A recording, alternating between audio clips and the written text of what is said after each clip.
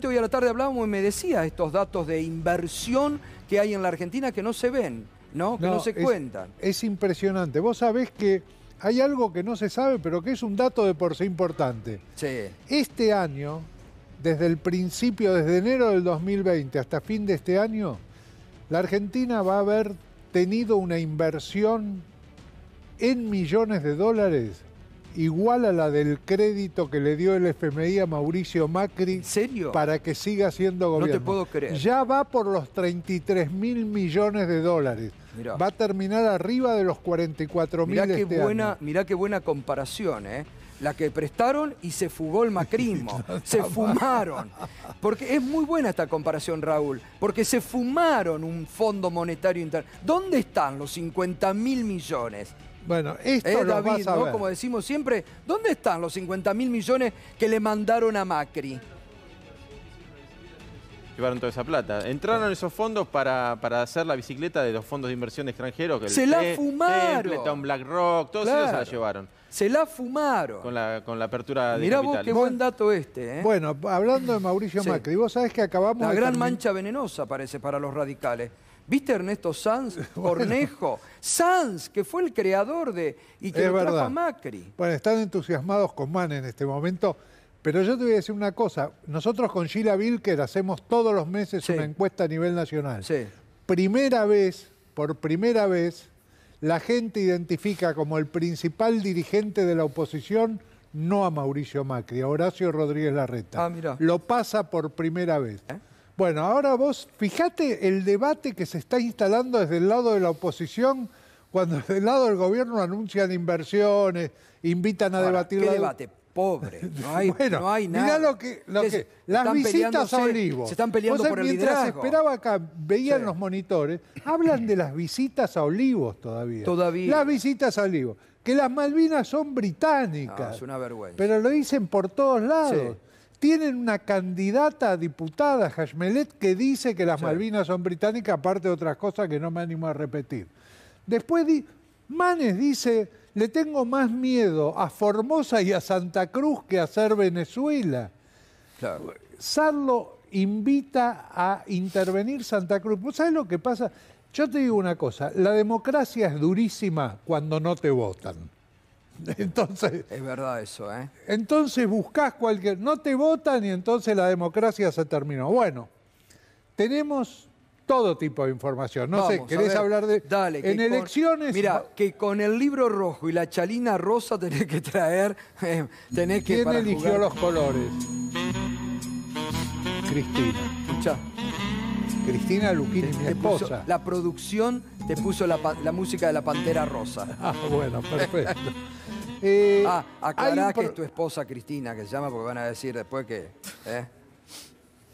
Fue Mi esposa se llama Cristina. Bueno, no, por eso. Dijiste Cristina, viste que está enseguida ah, bueno, no, Timerman es... Cristina Luquini.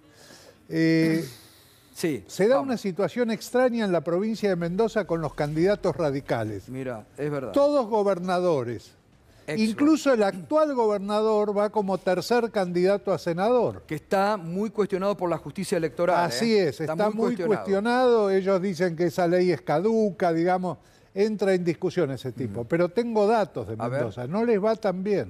¿Ah, no? No. Epa. Tienen 28 puntos de intención de votos y Fernández Agasti tiene 22 puntos de intención de voto. Ahí nomás. Hay una tercera fuerza con 14 puntos, hay 30% de indecisos. Epa, 30%. O sea que la batalla continúa.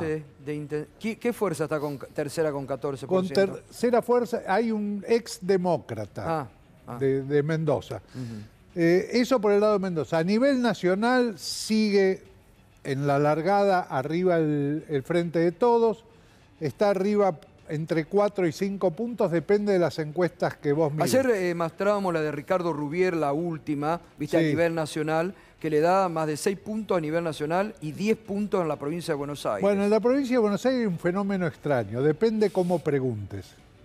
Si vos preguntás, Juntos por el Cambio de Mauricio Macri y Patricia Bullrich, te da dos puntos menos que si preguntás juntos por el cambio de Horacio Rodríguez Larreta y María Eugenia Vidal. Increíble, ¿eh? O sea, depende cómo preguntes. María Eugenia Vidal encontró un techo en la ciudad de Buenos Aires porque no le están perdonando ni los bonaerenses, ni los porteños. El ala dura de Patricia Bullrich, ¿no? Me parece que la cuestiona fuertemente ahí a María Eugenia Vidal, ¿no?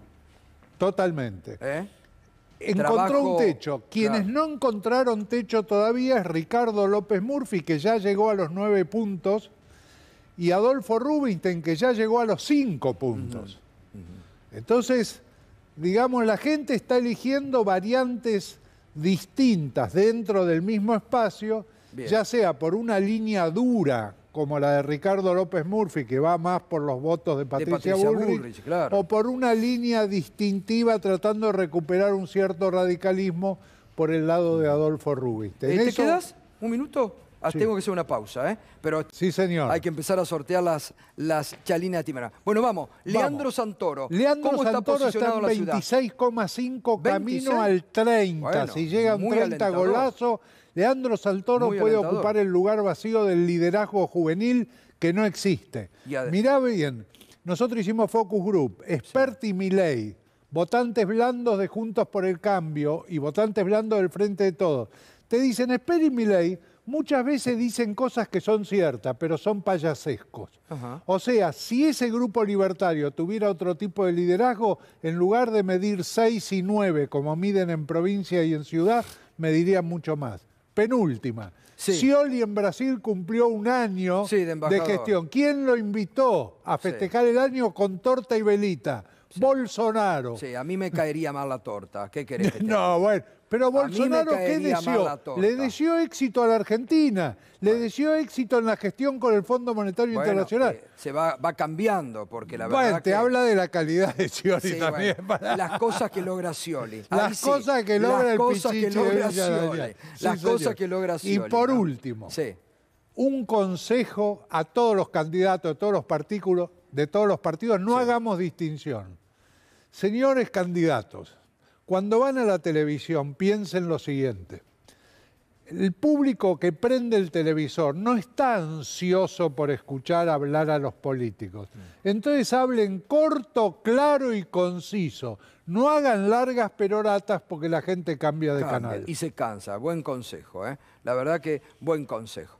Bueno, eh, hasta el próximo martes, ¿eh? El próximo martes nos volvemos a ver. Muy bien, siempre con buenos datos. Gracias, Raúl, ¿eh? Gracias, a vos, Gustavo.